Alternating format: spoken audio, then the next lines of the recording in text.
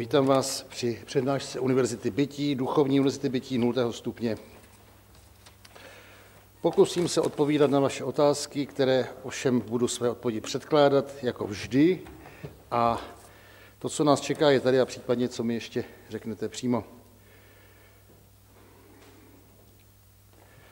Tak, můžeme začít. Může časté a dlouhé telefonování mobilem se mě ptáte zapřínit pískání v uších a neboli tinnitus? No to nevím, ale rozhodně vám to ohřeje mozek a zapůsobí na i některé další funkce vašeho organismu. Já až poprosím své přátele, tak vám přinesou eh, obrázek květinek, které jsem, teď si nejsem jistý, jsem je ukázal minule na přednášce, ale v rámci studentské vědecké činnosti jedna mladá dáma pojela nápad ověřit si, neříkal jsem vám to již, nebo ne? Hmm. Ověřit, si, ověřit si účinek na molekulární strukturu vody ohřev, ohřevem eh, eh, mikrovlnou troubou a nebo normální. Způsob ohřevu tedy na vařiči, takže ty vody jednu ohřála prostě mikrovlnce, jednu ohřála na vařiči, pak je ochladila a tou vodou pak dále zalévala dvě identické květiny. Za devět dní bylo hotovo. V jednom květináči byla jenom hlína a v druhém ještě stále rostoucí květina, rostlina. Takže eh, to vám budíš návodem. Není to sice případ zcela identický, protože eh, ta energie užitá k ohřevu té vody je přece jenom o něco větší, ale na druhou stranu eh, to máte tak. Když něco škodí málo, malém, tak když to přidáme trošku tu intenzitu, tak to škodí víc, to je snad logické poměrně. No tak eh, já osobně používám mobil co nejméně, abych si zbytečně neohříval eh, zbytky svých mozkových buněk. Už to není žádná sláva, přátelé. Zanedlouho už nebude po čem tesknit, ale zatím tedy opravdu ještě pořád nějaké buňky můžeme ztratit, tak se snažím. Ale je to můj osobní názor, je to předběžná opatrnost, eh, jsou tady jiné studie, které se tím zabývají a je tu velký boj o to. Takže pískání v uších přímo to neposoudím, to eh, spíše výjimečně, ale na druhou stranu nic pěkného to zřejmě nebude.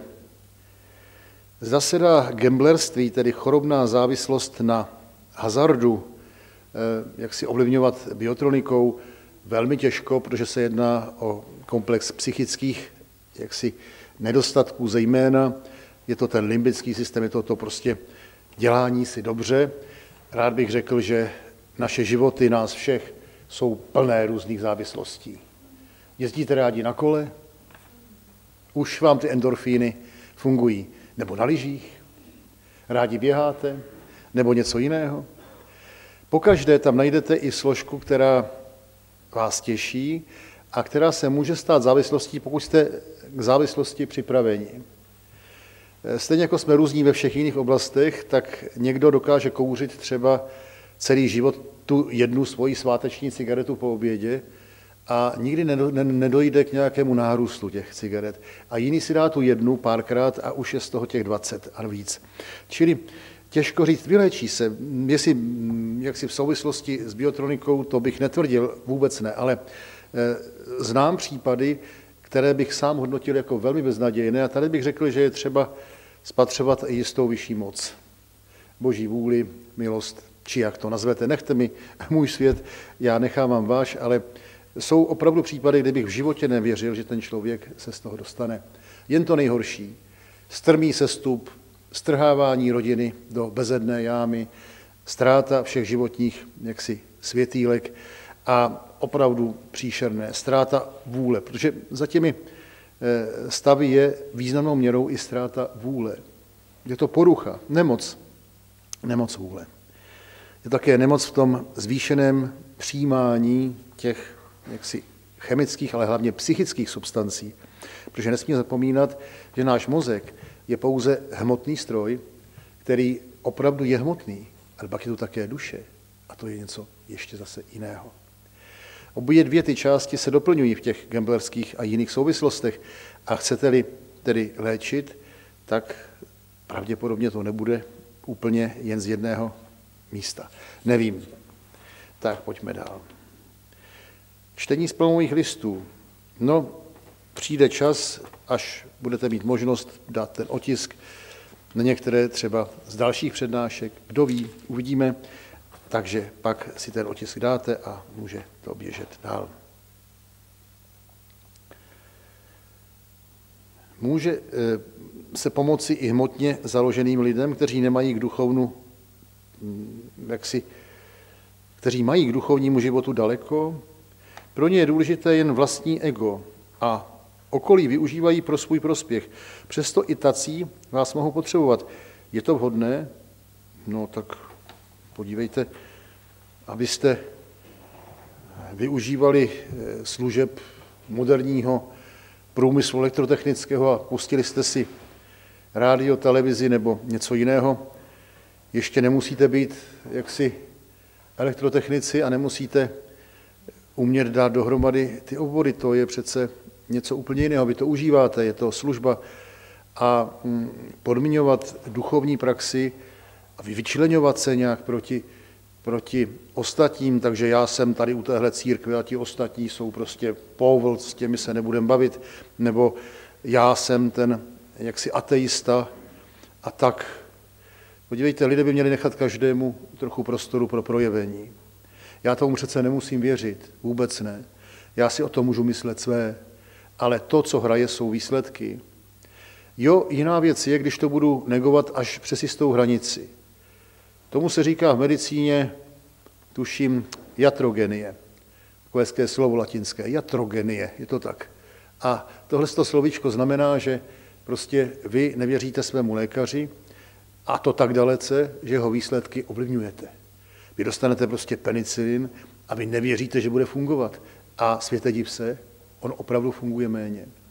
Takže když to nebude destruktivní nevíra, taková ta fundamentální, ale bude to jenom taková přirozená skepse, no my všichni si o něčem myslíme svoje a máme názor a taky ho změníme, když bude potřeba, ale eh, jak si k tomu máme být připraveni. Čili neberte skeptikům jejich skepsy jinak než názorem, názorností. Takže není důvod, proč by to tak mělo být. Člověk v duchovních jaksi souvislostech nemusí sám něco věřit a přesto to může využívat. Podívejte, já jsem za svůj život potkal hrozně moc lidí. Ateisty, komunisty, kapitalisty, eh, romské spoluobčany, ruské spoluobčany, světové spoluobčany a každý byl pro mě člověkem. Eh, naprosto neznámé, naprosto známé. No, člověk jako člověk, nemyslíte? Takže tak.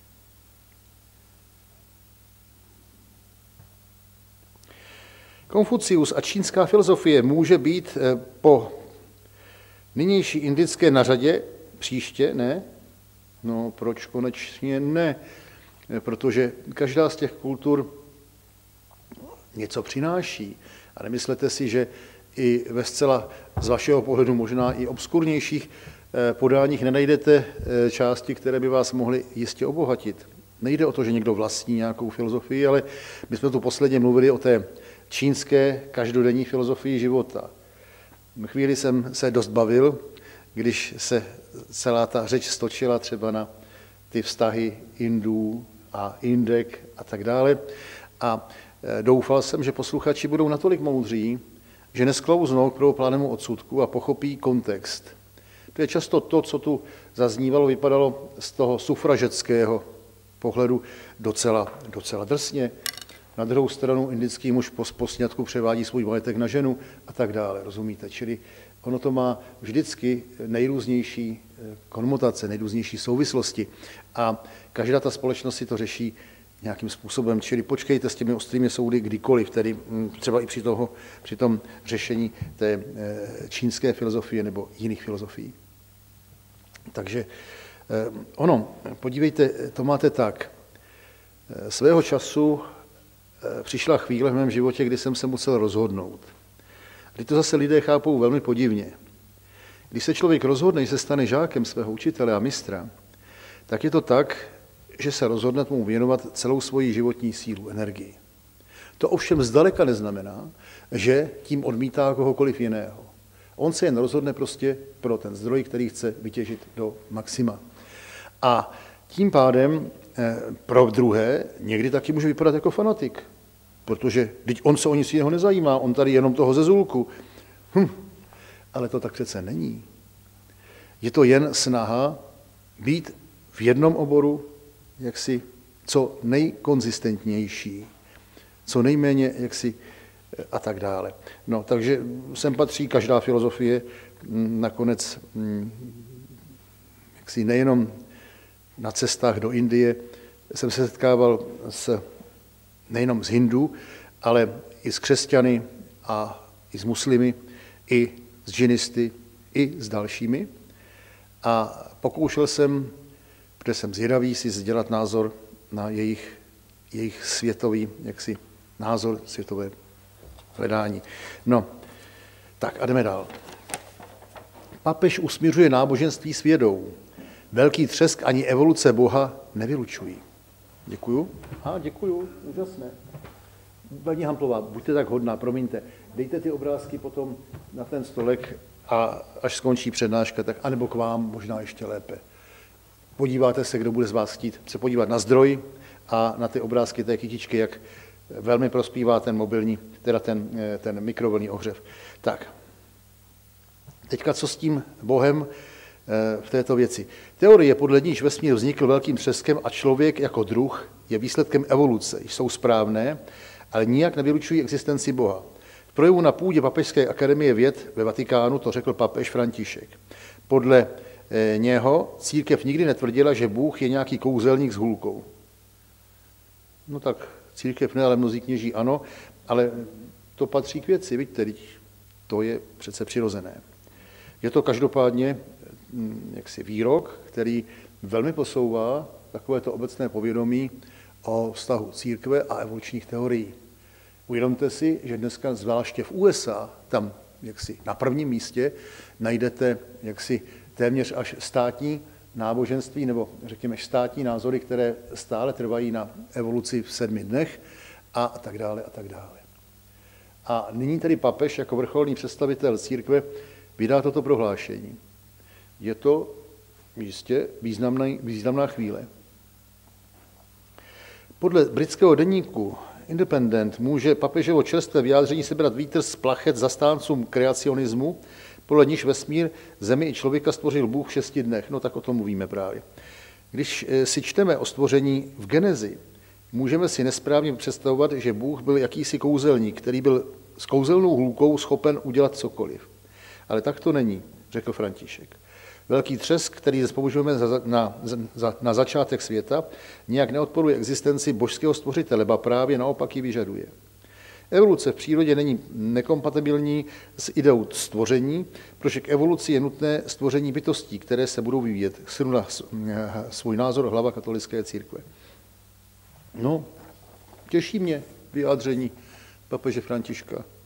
Vás ne? Mě ano. Hm. Protože když čtete pozorně eh, tu genezi, eh, tak se vám může stát, že začnete chápat ještě trochu jinak, než bývala běžně vykládána.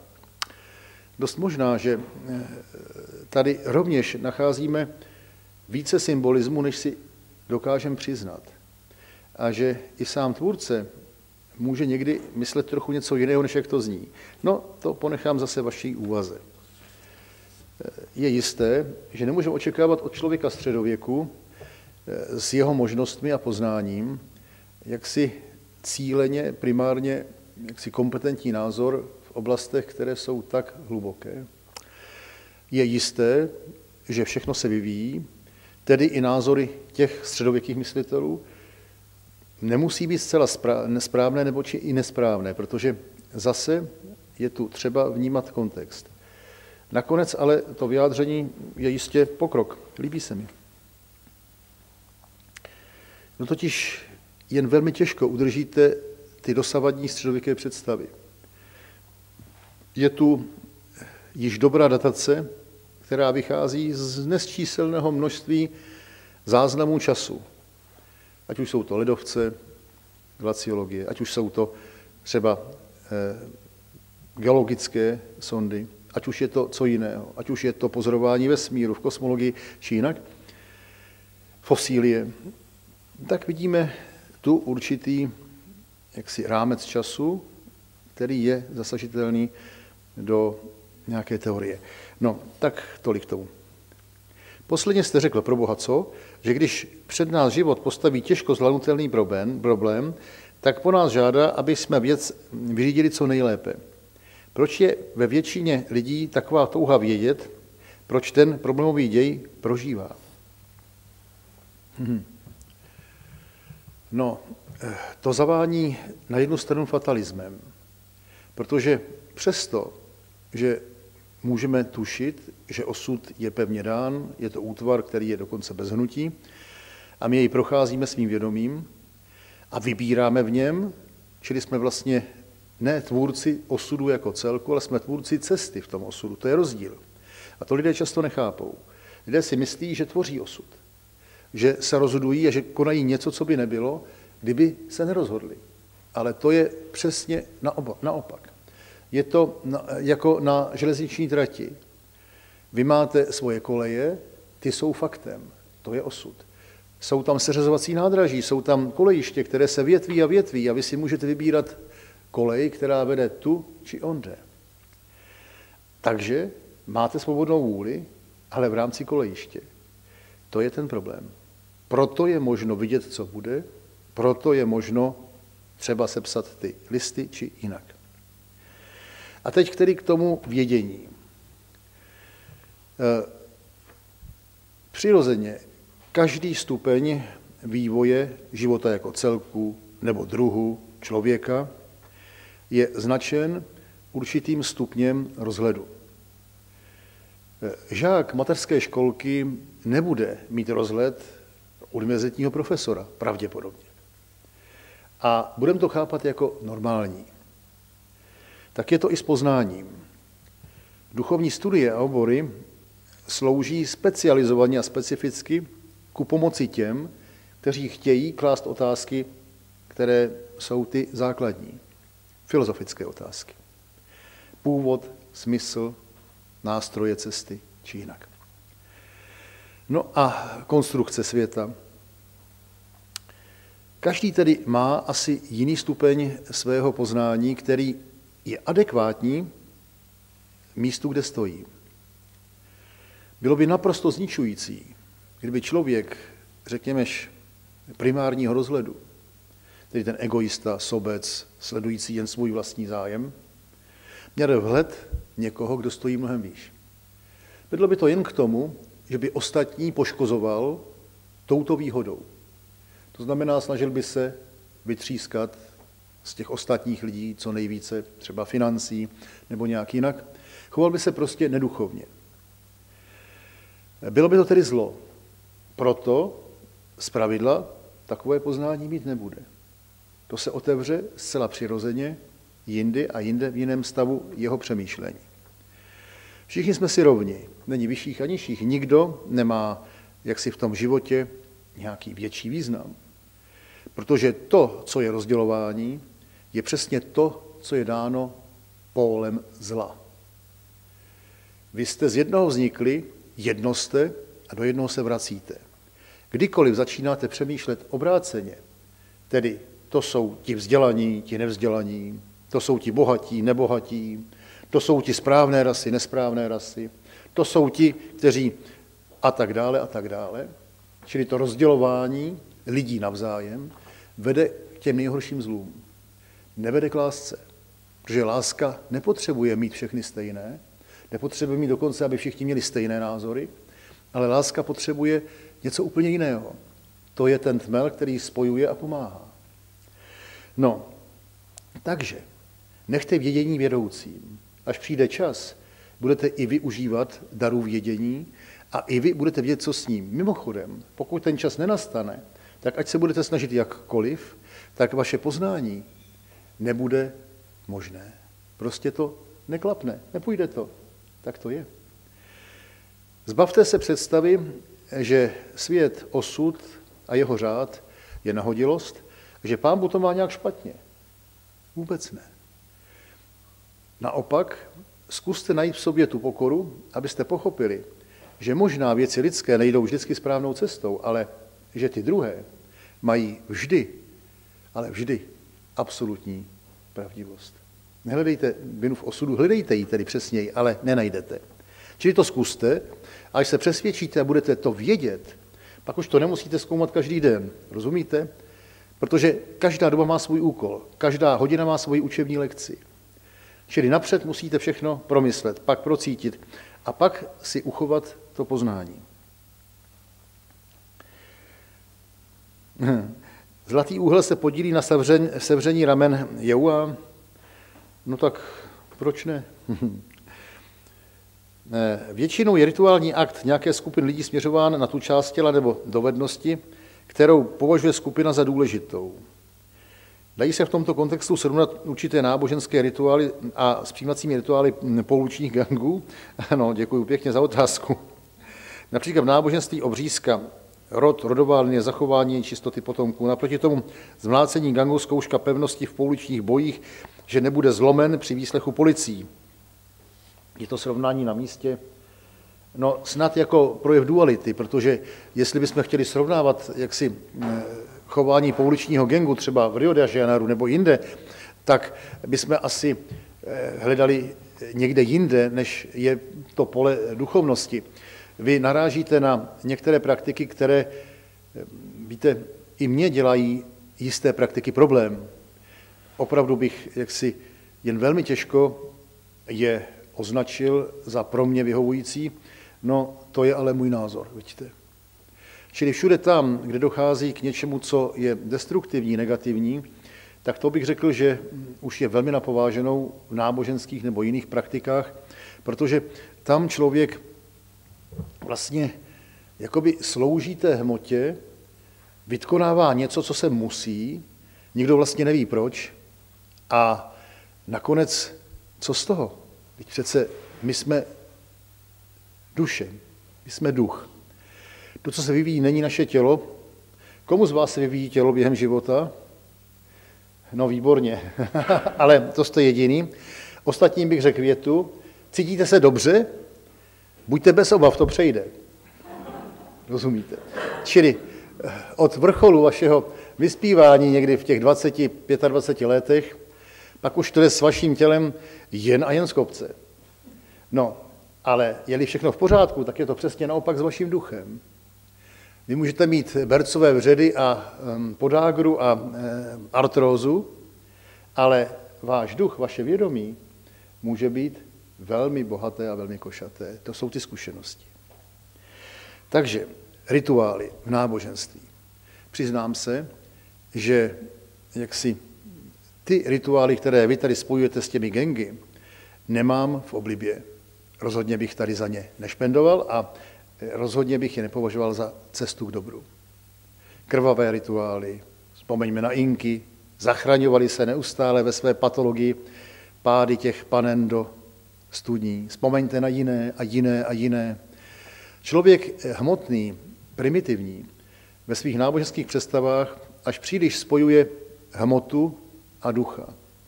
Ano, vy se o hmotu musíte starat. Svoje tělo musíte napájet, krmit, šatit a jinak, uléhat ve vhodném prostředí. A to je jistá povinnost, aby vám ten příbytek dobře sloužil, ale to nesouvisí tolik s duchovností. Dokonce ani hmotné metody cvičení nejsou přímou cestou, ale jsou přípravou. Důležitou, ale přípravou. Takže duch, vědomí. Můžete být na poušti, můžete být v horách, můžete být kdekoliv a nemusíte být sami, pokud vaše vědomí to dovolí. No, čili u těch negativních oblastí náboženského života bych jistou spolu účinnost spolučními gengy dokonce mohl vidět. Protože zlo má stále jen jeden projev. Rozumíte? Zlo je to, co ničí. Jak můžete dosít svého povýšení duchovního, když někomu proříznete krk? Pro Boha. Když ten, komu jste prořízli krk, krk, je váš bratr, je také stvořením božím a vy mu rušíte jeho cestu k životu. Prosím, chcete někomu proříznout krk? Ne? Ne. Ano. Ano. Já si myslím, že já jsem tam poznal, že tělo, mysl a duch by měly být Ano. Třeba pečovat o to tělo, aby svaly byly pevný, orgány. Proč ne? A vlastně myslím si, že i to kung fu, ač je to bojový umění, tak ho vymysleli mniši. Ano, samozřejmě. Ano. Je to duchovní cesta svým způsobem. V podstatě je to Ale cesta míru a klidu. tak, cesta míru. A teď jste řekl důležitou větu. Protože kung fu je sice bojové umění, ale nemůže, pokud je správné, nikdy primárně sloužit agresi, boji. Nikdy. Nemůže být zneužito k ničení. Přesto může být citelnou jaksi formou obrany. To ano. Ale vždycky jenom obrany. Čili vaši mistři vás v první fázi musí učit, že obrana je obrana. Tak to je. Protože pokud žák by byl veden a nebyl v tomhle vycvičen, no tak se stane neřízenou střelou, destruktivním prvkem, protože by všem ukazoval, jak on to umí, jak má tu sílu toho úderu. To jste si prošel, no. To si projdou všichni na začátku, rozumíte? Protože se tam projeví naše komplexy a jiné věci. A pak najednou, pokud je to správné, tak pochopíte, že je to jinak. No, tak. Čili dneska už nemusíte si dokazovat, že, že máte větší sílu než kamarád. Že ne? Proč? Na co? Takže to byla cesta, jak uniknout z téhle pasti třeba. určitě. Hmm. Já jsem právě prošel klinickou smrtí, protože jsem byl předávkovaný heroinem. No a co vám tam řekli? Řekli vám tam něco v té klinické smrti? Jo, viděl jsem, viděl jsem svoji duši, jak se tísní mezi dušema nějakých sebevrahů, kteří tady Mhm. právě na zemi. A cítil jsem se strašně stísněně, Mhm. bylo mi strašně špatně, Mhm. ale jenom jsem se se straš, strašným štěstím probral s kanilou adrenalinu v ruce, kdy mě Mhm. eh, páni sanitáři tam nakonec Vrátili do života. zachránili život. Ano. A viděl jsem teda věc, že to by ta smrt, pro, já bych, ta moje duše by tak trpěla, kdybych umřel, Nebylo to pěkné. bylo to strašné. Hmm. Od té doby pak jsem s tím skončil. To je polepšení ze strachu tohle. A, ale teda musím říct, ale já něco chci tady říct vám všem. Já jsem, Prosím. Já léčím, občas mám virkulent, Ano. senziblu z poličky Ebela Švejchla pana. To byli léčitelé typu pana Paseky a Pátra Ferdy. Ano. Takový ty z těch, já, já mám rád tu psychotroniku a ty léčitele těch 70. let minulého století. Mhm. Takový ty klasický léčitele, kteří to dělali zadará a jakoby byli tu frankovku a koutili to cigáro a byli to takový ty dělníci. No, takový ty normální. Dělníci, dobře. No a No a já jsem Jak? že je pět adaptogenních bylin, které jsou proti rakovině, proti HIV, proti epilepsii. Je to schizandra, eleuterokok propolis, klasická kultura včel, kterou sbírají včely z jehličnatých stromů a unifikují tím ty, ty plástve proti. Takže propolis, žečen korejský, eleuterokok to je sibirský žečen a šišák bajkalský. To, to je pět věcí, které podle mě, kdyby člověk, kdyby, jsme, kdyby lidi jsme užívali pravidelně, jeden den to, druhý den to, třetí den to, tak jsme naprosto zdraví. No jo, to já nedokážu posoudit, protože já těm bylinám nerozumím a žádné byliny nikdy nedávám, čili v tomhle těžko eh, mohu sloužit nějakým vlastním názorem, ale hm, každopádně nechť je vám země lehká, nechť vaši bojoví, bojoví soudruzi vás dále cvičí ve vašich dovednostech a ať jdete správnou cestou životem. To k tomu můžu říct jedině. Tak a pojďme dál.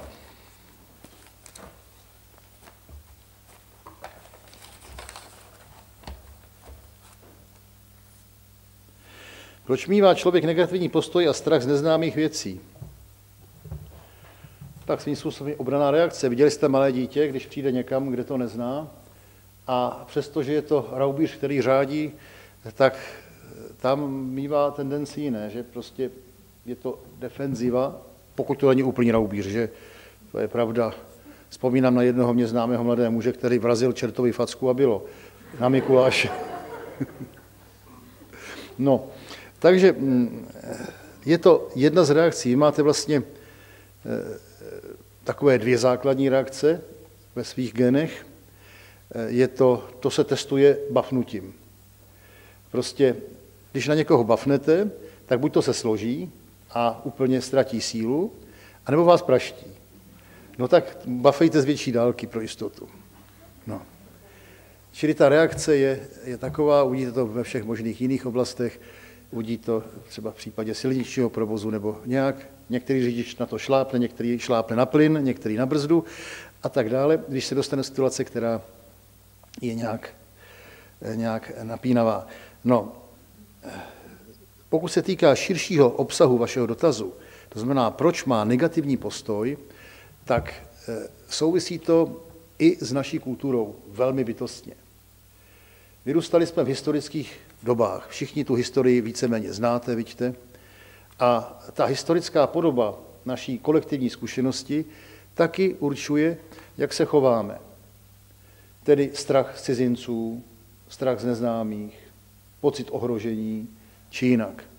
To je někdy až geneticky zakódováno, čili i pocit z neznámých situací. V lidské historii až podnes vám řada lidí vysvětluje, cokoliv neznáte, vám předvádí v černých barvách. Prostě se snaží to prezentovat jako, jako zlo. Vzpomeňte, když šel ten náš hus do té kosnice, jak před ním běžel ten předběžec, předjezdec. A všem vysvětlil, kdože to teda pojede za chvíli. No prostě proto, aby si všichni zamkli dveře a okna a neposlouchali ho, protože kdyby ho poslouchali, tak by možná jednali jinak, než kdyby ho neposlouchali. No, takže rozumíte. Je v tom tedy i manipulativní prvek. Prvek manipulativní výchovy, ať už za dob feudálu, či jinak. Prostě všude tam, kde bylo potřeba s člověkem manipulovat, se také vytvářely nějaké kliše, nějaké masky, nějaké prostě eh, přednastavené informace. Takže já bych tady uvedl třeba jako možno, mož, možný příklad právě eh, to studio, nebo tedy eh, pana, tuším, režiséra Klímu, jeho pořadu. Protože jak si tam jste viděli možnou klasickou, jaksi klasický příklad něčeho podobného. No, takže to je, mm, to je tak. Kdyby to bylo ještě samo o sobě, tak to může být náhoda. Ale v zápětí přichází eh, jaksi reportáže s celá cíleným podobným obsahem, tady, který s tím jakoby souvisí přímo, nepřímo, a kde je ta, ten předmět té reportáže určitým způsobem před, předváděn. No to má každý samozřejmě právo, ale každý druhý má také právo se k tomu vyjádřit. Víte? Takže nezlobte se, já nejsem fašista, nechodím v červených treníkách hákenkrajci a nedělám mnoho jiných podobných věcí. Tak to bych rád veřejně prohlásil. No, jdeme dál. A i když by se dalo říct, že, že si to prý mohu příliš přivlastnit, tak přesto, když se podíváme na způsob střihu a složení, není to zcela nemožné. Není to jisté, ano. Tak, dobrý den, zhoršuji svou nerovnováhou a svojí vůlí místo vůle boží jen svůj osud nebo i jiných blízkých přilehajících osudů. Nebo je to jen osobní věm? No, tak pokud se tady nebavíme s tazatelem, který podléhá jakoby strachu, který se bojí eh, a život začíná přetahovat do těchto nepěkných konců, ale je to filozof, který se zajímá o filozofickou podstatu toho problému, tak tomu rád odpovím. Pokud byste ale chtěli spatřovat v sobě sebeobvinování, které vás bude životem prakticky až umrtvovat, tak to bych nebyl přítelem. Čili my všichni konáme rovnovážně, nerovnovážně, vyváženě a tedy eh, naše činy, naše výběry musí být, pokud je osud osudem, vlastně propojeny se všemi dalšími buňkami toho osudu, protože má se naplnit nějaká věc, no tak musí být vlastně v nějaké koherenci nebo v nějakém rezonanci i se všemi ostatními. Než přijde velký ničitel v osudu, Napoleon, Hitler, musí to být také již ti, kteří mají tu dobu zažít. Jinak by osud nebyl osudem. Možná, že kdybychom byli trochu více vědoucí, mohli bychom říci už i dopředu, jaká bude doba podle těch, kteří stojí před námi. Tedy podle osudů, které budou žít. Tak to funguje třeba v palmových knihovnách. Čili oni nepopisují nějaké poselství pro Evropu. Oni z množiny osudů, které jsou v tom regionu, v tom místě, mohou říci svůj názor na kolektivní nebo víceméně částečně kolektivní osud celku. Když se stane nějaký posun A, pak ve vedlejším osudu ten posun B je zcela v souladu. Čili nejde jen o osud jednotlivce, to je příklad pro naši úvahu, ale osud jako celek tady funguje. Když beru do ruky tento papír, tak v něm ovlivňuju eh, jaksi pozici minimálně nějakých atomů, křídy, klihu nebo čeho, vláken, dřeva. A stal jsem se tedy součástí, osudovou součástí této části hmoty. Než jste mi ji přinesli, ta hmota byla osudem někde jinde ve vaší domácnosti nebo tady. Pak jste vzali to pero, napsali otázku. Tím jste se spojili s osudem rovněž. Až skončí tento, ten, tato chvíle, tak pravděpodobně eh, ten dotaz zničím, jako všechny dotazy, které mi dáte. A to proto, aby se v tom nikdo nemohl hrabat. Kdo to napsal a tak. Takže hm, je to anonymní. Čili nenarušujete víc, než narušujete. Zároveň jste spojen se vším, co je. Čili jakékoliv vaše rozhodnutí je zároveň odrazem rozhodnutí ostatních částí osudu.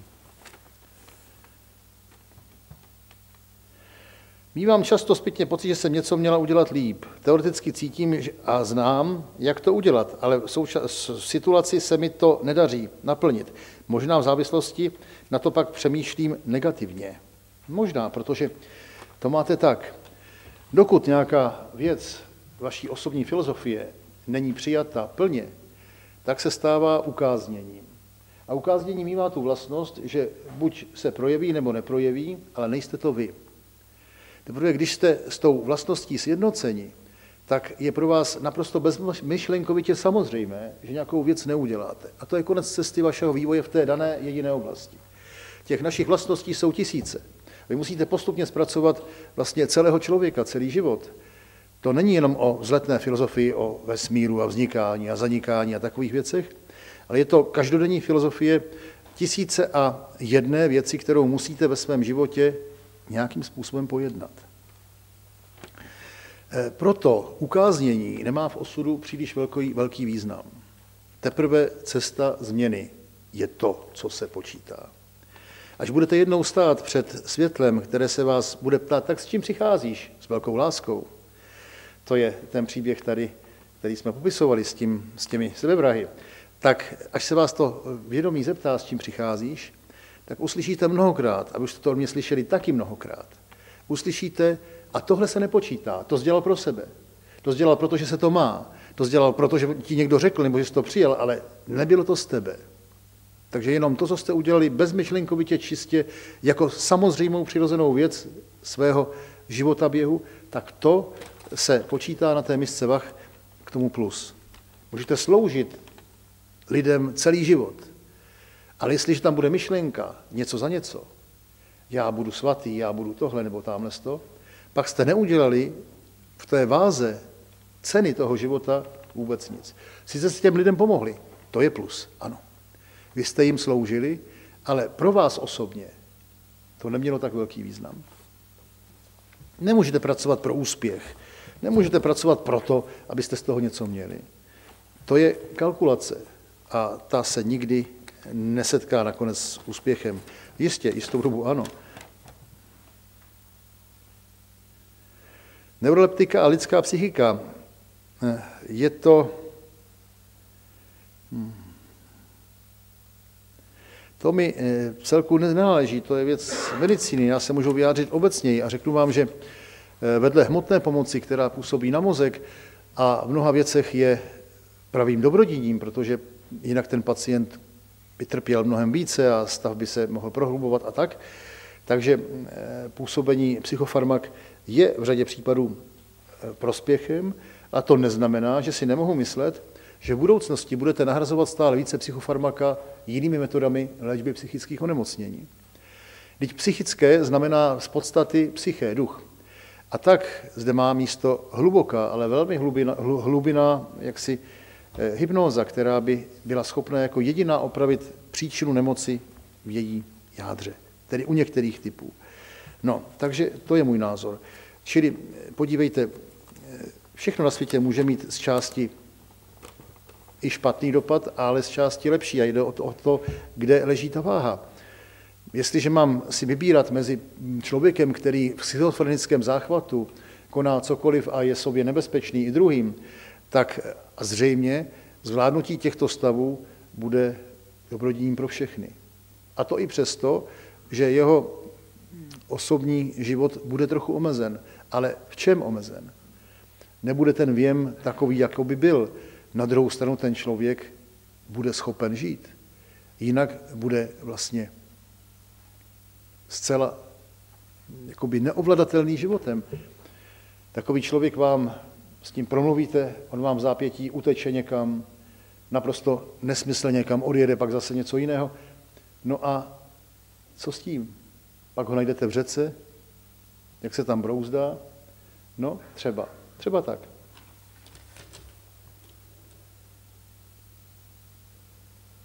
Jaký máte názor na potrat v současné době? Jak to bere biotronika a jaké to má případné dopady na zdravotní či zdraví či stav ženy? Může jí to citově poškodit? No to jistě, že může. A mateřství je doprovázeno nejenom hmotou, ale také hormony a také duchem, ale spíš se ptejme zase po hranicích. Kde je hranice, která by podle názoru třeba té biotroniky byla ještě tou hranicí a, kde je ta hranice, a teď budete mít jeden případ a přijde jiný. A ta vaše první hranice najednou nebude platit. Teď co s tím? Takže jak odpovědět? Když bude případ, že bude přímo ohrožena žena, bude to jiné, než když to bude případ, nechápu, jak to ta medicína poznala, ale zhruba kolem toho třetího měsíce nejdříve přichází do toho zárodku i duševní část, tedy chcete-li duše. Nejdříve, kolem třetího měsíce. Čili medicína, pokud stanovila tu svoji hranici tak, jak stanovila, nechápu, opravdu nechápu, kdo to vymyslel, ale je to pravda. Tak to ještě pořád nemusí být jaksi tak činné z hlediska ducha, duše toho dítěte. Vždy to bude ale samozřejmě poměrně velký zásah do života ženy. Bylo by krásné, kdyby všechny děti mohly vyrůstat a všechny měli pro svůj život to, co potřebují. No, je to otázka. Je to jako všude jinde. Když něco z maníry jen tak, tak to asi nebude moc obhajovat. A když to bude mít skutečně vážný důvod, víte, já jsem toho názoru, že člověk je snad už tak inteligentní, aby dokázal hlouběji zvažovat svůj život. A ta úvaha by tu měla být. Čili nikoliv absolutní zákaz, také ale snaha po vyrovnání. To znamená, aby úcta k životu byla, aby byla samozřejmou součástí, a na druhou stranu žádné pravidlo tady nemůže být proto, aby jsme konali zlo. Jinými slovy, cílem není existence nebo neexistence, ale cílem je pokud možno poznatelné nejvyšší dobro. Čili tak zní moje odpověď. Je to k pochopení? Čili někdy ano, někdy ne. Podle okolností.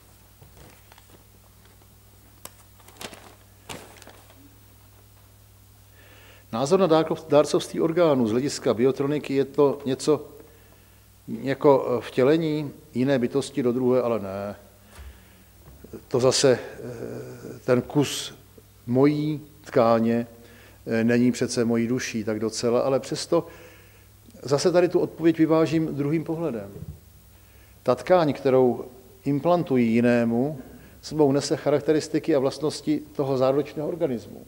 Vzpomeňte na ty příběhy, kdy křehká eh, žena dostává chuť na pivo a na ty hranolky, protože její srdce pochází z motorkáře, který motorkáři jsou dárci orgánů, to se říká, víte, žertem, ale bohužel je to smutná pravda kde jsou to většinou mladí muži, vidíte motorkáři, čili jaksi jsou v dobrém tělesném stavu a umírají až příliš často, bohužel, mládí. Takže mm, ano, tyto věci byly zaznamenány, nejenom v tomto případě, Ale mluvit o duševním jaksi spojení v plném slova výrazu, tak to úplně asi ne.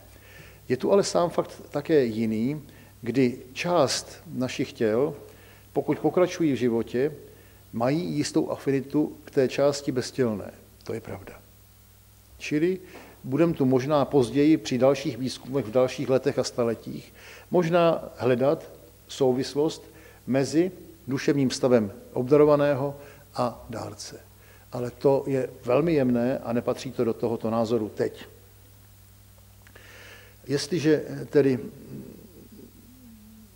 dojde k úmrtí, tak si rozhodně nemyslím, a ani Zezulka si to nemyslel, že musíme jaksi za každou cenu zachovat integritu těla a že může-li pomoci jinému, no tak proč ne, je ale otázkou jaksi další, ale ta není otázka na mě. To znamená zvládnutí imunitních eh, problémů, zvládnutí dalších problémů.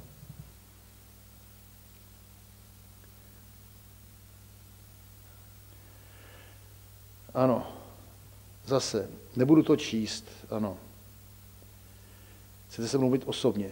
Jen řeknu jinou věc. Ta obava, která je vyslovena, je zbytečná.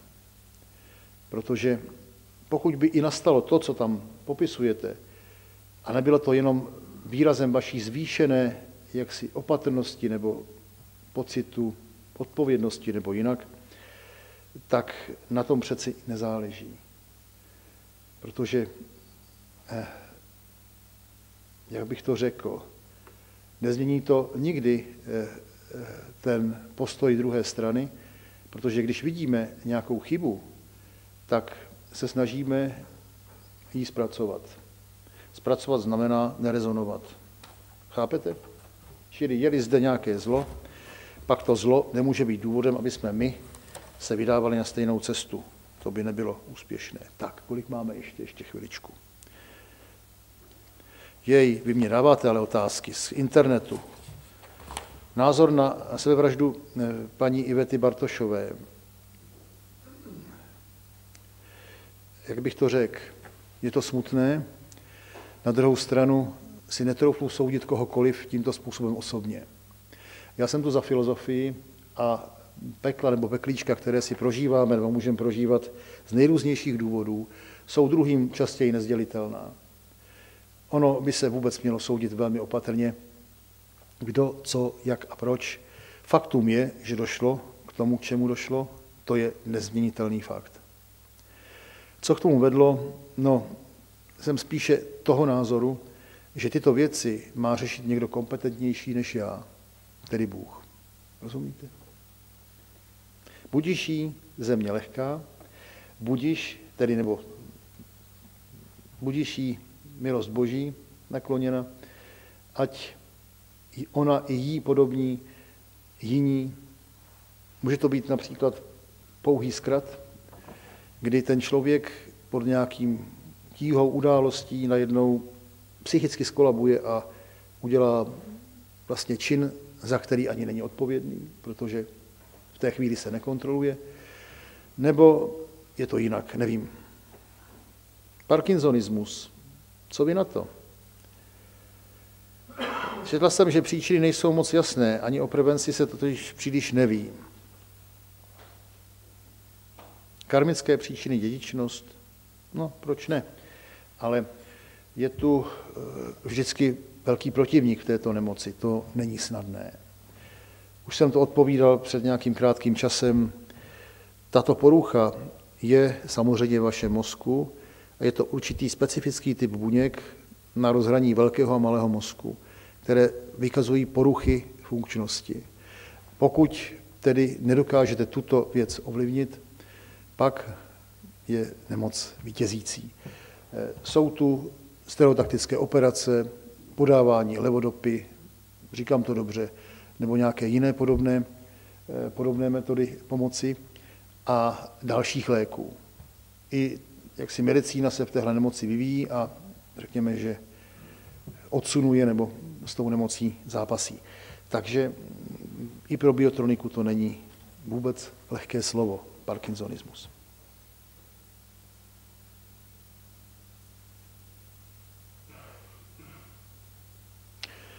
Procházíte archiv a nacházíte otázky, na které jste hledala. Eh, posílám poděkování. No, děkuju, ale to je na nesprávném místě. Darmo vzal, darmo dal. Možná, že jste pracovala v minulosti v duchovní oblasti a v těch svých minulých zrodech a podobně. Plánujete koncerty na Slovensku? Zatím, pokud vím, tak ne, ale byly koncerty i na Slovensku, tak možná zase jak osud přijde a přinese, kdo ví. Děkuji vám za pozdravení. No, tak poslední. Celestinské proroctví osmý let je o používání energie novým způsobem. Začíná od začátku od dětí. Aby se naučili vyvíjet, potřebují naši energii stále, nepodmíněně. Nejhorší věc, kterou můžeme dětem udělat, je připravovat je o energii tím, že je opravujeme. Tím v nich vytváříme ovládací dramata, dogmata spíš. No. Můžete o tom pohovořit? Zas asi bych viděl rovnováhu něčem. Takže mm, dítě a vy se máte zřít, že? Čili máte se vnímat. Eh, neznamená to, že dítě bude zcela eh, jaksi ponecháno samo sobě, to byste rezignovali na svoji úlohu a zároveň vaše úloha nespočívá v tom, že to dítě je eh, jaksi vaše omezující věc, kterou nevnímáte. Běžte na toho duška, pana herce, který vám tam v čtvrtém, čtyři, ve čtyřech dohodách dá jaksi k tomu docela krásnou odpověď a vy starší se budete trochu stydět, protože uvidíte, kolikrát jste poškodili svoje děti s tím, že jste přenášeli dosavadní zvyk této společnosti na další generaci. Že to jste nevymysleli vy. Vy jen jednáte tak, jak jste byli sami učeni a přenášíte to vlastně dál a dál a dál. A tak ta společnost vlastně ničí svoje děti a ničí svoje děti a ničí. No. Takže někde to musí taky přestat, jistě. Takže touha po rovnováze je i tady přirozená. Eh, energetické souvislosti lidského chování jsou naprosto zřejmé a známé. Dali by se při podrobném studiu dokazovat stejně jako cokoliv jiného, jen k tomu ještě nenazral čas. Prostě nás to zatím moc nezajímalo. Takže tolik bych to shrnul. Eh, celestinské proroctví otvírá jednu z těch životních pravd, které tu všichni máme a ukazuje vám, jak ten svět je rozdělen na ty násilné, jak si přijímače té energie, kteří vlastně nestojí o souhru a nestojí o dialog, ale často stojí o prosazování sama sebe. Často se vás snaží ovládat, třeba pomocí moci nebo financí často. Takový manžel, vidíte, a teď rozhoduje o všem, a má ty peníze a teďka si snaží ten svůj svět udržet za každou cenu prostě, protože od noci myslí, že těmi penězi si vás může ovládat do konce života a přitom nechápe chudák, že vlastně ztrácí všechno, protože takhle to nemůže nikdy fungovat. No a to platí i pro všechny ostatní případy. Čili nechte světu jeho stav, Nemůžete opravovat celý svět, opravovat můžete jen sebe a nemůžete také tak moc kritizovat, takže snažte se pochopit a mm, i to, co nás provází, ale to je dobrý den, to je náš, někdo nás volá, ale to je 18.03, to ještě nejsme tak dlouzí. Musíme si opravit ústřednu. Tak. Takže to je všechno, přátelé. Na závěr bych se dopustil duchovního obřadu. Nemyslete na svoje nemoci, nemyslete na svoje okamžité životní strasti a zkuste aspoň na tu chvilinku zažít, pokusit se o to, blízkost toho, co nás přesahuje. Tak, až domluví, tak se do toho dáme.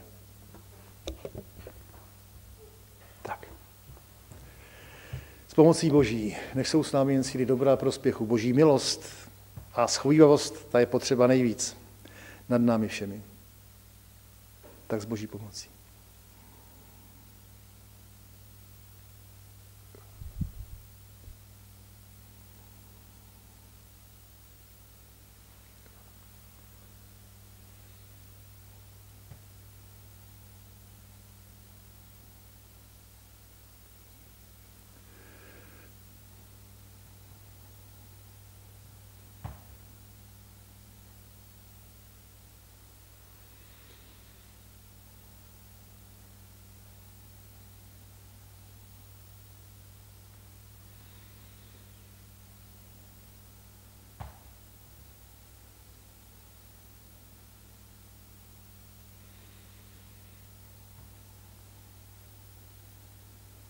No a to je pro dnešek všechno. S poděkováním za vaše otázky a ochotu poslouchat odpovědi, ať se vám daří a zas za, za, my máme další přednášku až za týden, to znamená v pondělí, tak se budu těšit, pokud byste chtěli. Je to pro dnešek všechno. Dneska mi prosím dejte trochu času, já opět musím odcházet co nejdříve a uvidíme se teda za ten týden v pondělí.